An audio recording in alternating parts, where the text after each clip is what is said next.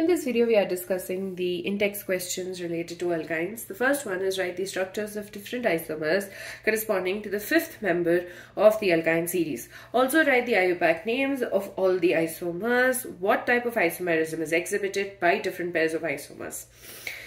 So first of all, the fifth member of the alkyne series, the moment we think, okay, fifth member of the alkyne series, it's probably pentyne and we would have started writing. But in alkynes and alkenes, the methane, the one with the one carbon atom is not considered. So ethyne is the first member of our series and so the fifth member of the series would be hexyne.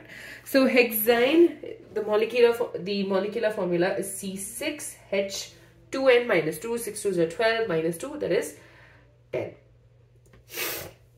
So we need to write the various structures. Let's start with the easiest of the lot, uh, straight chain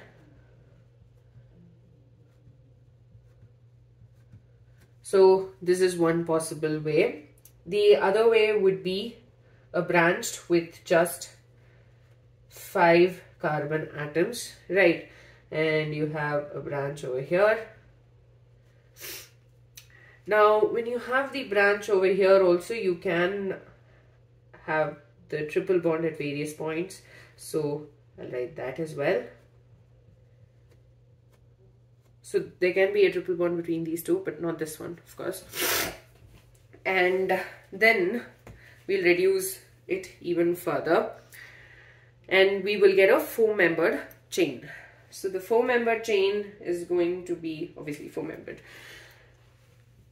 One, two, three, and four, and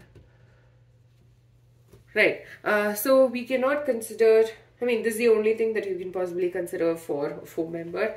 We'll not be considering three because you will, I mean, because here in that case, you just have a four member chain this way. So, yeah. So let's look at the isomers which are possible for the alkyne. Now the first one is going to have the carbon triple bond between the first and the second. Let me just number it. This is again like we did it for the first question in this uh, first in-text question for this chapter. I'm just numbering it for our uh, convenience. So there's going to be a triple bond between the first and the second carbon atom. So C CH2 CH2 1 2 3 4 5 6 right? So 1 2 3 4 5 and 6 3 4 5 6 7 8 9 and 10 so the name is going to be 1 yne so hex 1 yne next is going to be between the second and the third carbon atom. So CH3 C triple bond C CH2 CH2 CH3 and in this case 1 2 so hex 2 yne.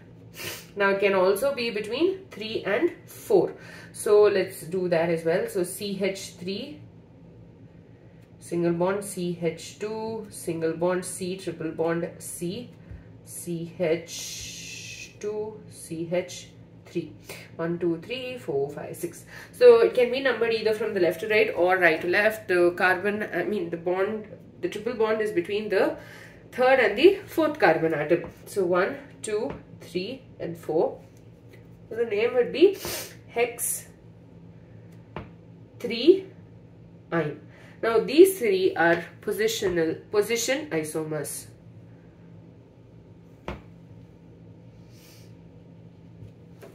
because there is variation in terms of the position of the triple bond. The next one is where you have this particular structure. So the first possibility is, okay, first of all, this carbon atom cannot have a triple bond because it already has this carbon bound to it. So you have uh, the possibility of a triple bond being here. So I'll just number it for our convenience again. So between third and the fourth and fourth and fifth we can have. We cannot have it between 2 and 3 or 1 and 2 because of this carbon bond. So CH3, C, CH3. First we are considering between the third and the fourth carbon atom. So oh I'm sorry CH single bond C triple bond C H so oh I'm sorry 4 CH 3 3 4 5 6 7 8 9 10 perfect. So this is the molecule. You will be numbering it from the right to left because we need the lesser number for the triple bond. So the name is 4 methyl but 2 yne similarly we can have a double bond a triple bond between the oh i'm sorry pent one pent 2 yne there can be a triple bond between the fourth and the fifth carbon atom as well. So let's just write that quickly. So CH3, CH, CH3, uh, CH2, single bond, C triple bond, CH. Now this will also be numbered from the right to left. So this is the fourth carbon. Right. So we have the methyl group attached at the fourth carbon. So 4 methyl pent 1 yne.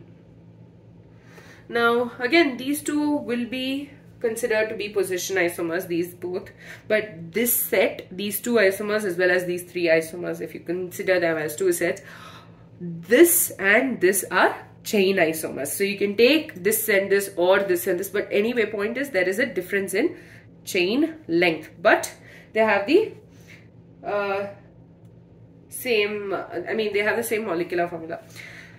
So this case, uh, let's just number it quickly. So 1, 2, 3, 4 and 5.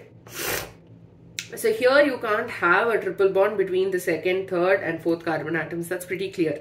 So there's only a possibility between the first and second or fourth and fifth. And since 1, 2 and 4, 5 basically the same, we'll only be considering one of them. So CH, triple bond, C, single bond CH, CH3 and you have a CH2, a CH3. 1, 2, 3, 4, 5. 3, 4, 5, 6, 7, 8, 9, 10. So this will be number from the left, not from the right. So 1, 2, 3, 4 and 5. So the name is 3-methyl pent 1 okay so again you have a chain isomers chain isomerism shown over here. Next is the one here. And since this carbon atom is incapable of showing uh, I mean it's incapable of forming a triple bond it's only going to be between these two carbon atoms. So the structure is going to become CH3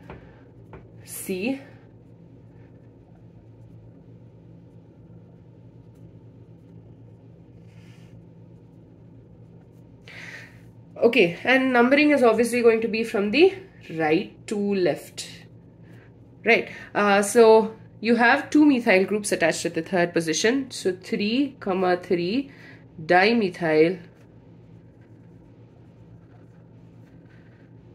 but 1 yne right uh, so that's about it. I think we got seven. We're supposed to get seven structures according to the solution in the textbook. One, two, three, four, five, six, seven. So we got seven structures. And I mean, it's instead of trying to look at what the textbook gives you, you, you might as well try solving it on your own and, you know, doing this way. This way I found it much easier. So you can follow this method instead of trying to remember what is given as the answer. Uh, the next one is how will you convert ethanoic acid to benzene? Now this particular question ba basically compiles all the preparation, all the chemical reactions that you've learned in this chapter. So we need to convert ethanoic acid which is CH3COOH to benzene. Pause the video right now try go back to your uh, all the reactions that you learned and try and figure out how you can do it. If you want to you can go from the backwards because you're trying to learn right now. You can start with benzene and go backwards. That is you if you remember there was a reaction in the end that we learned about where in eth ethyne molecule gets converted to uh, benzene. And maybe you'll be able to get it through that process. That's fine as well so uh, we'll be starting with ethanoic acid. So ethanoic acid that is acetic acid also called as it is going to react with NaOH and this leads to the formation of sodium salt of ethanoic acid. So CH3COO minus Na plus is formed and this is undergoing a chemical reaction with soda lime and heating is going to give us an alkane. So that's methane, methane which is formed. Now methane is going to react with chlorine and H mu basically underwent a substitution reaction to form CH, C, CH3Cl. Okay, now what is happening over here? Now this CH3Cl is an alkyl halide and an alkyl halide can be used for the synthesis of an higher um, alkane right so in the presence of Na and dry ether that is a Wurtz reaction it is going to lead to the formation of CH3CH3 or C2H6 that is ethane. Now this is undergoing a reaction with chlorine okay and that's going to again lead to the formation of C2H5 Cl. Right, now this is undergoing again a reaction with KOH, potassium hydroxide, to form an alkene. So we're converting from an alkane to alkene. Now this alkene is reacting with bromine to get a vicinal dihalide.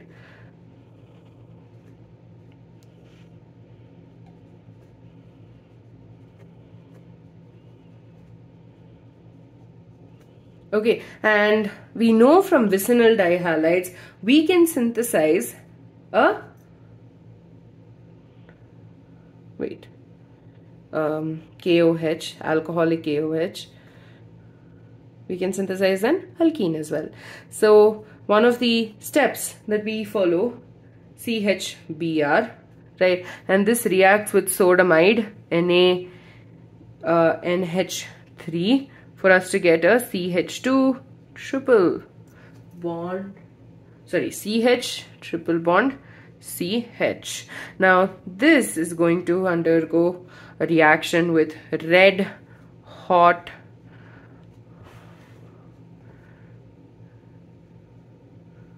iron tube. And this is at 873 Kelvin to give us benzene.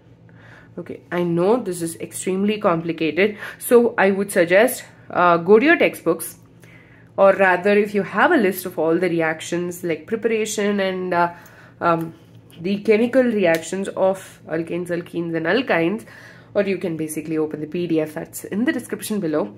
And what you can do is you can start with benzene go backwards try and go backwards. It's completely fine. Try and go backwards. Try and solve it on your own. And the moment you're able to do that i think you'll have a deeper understanding of these reactions. Now with that we're done with the in-text questions of alkynes. The next video we'll be continuing with aromatic hydrocarbons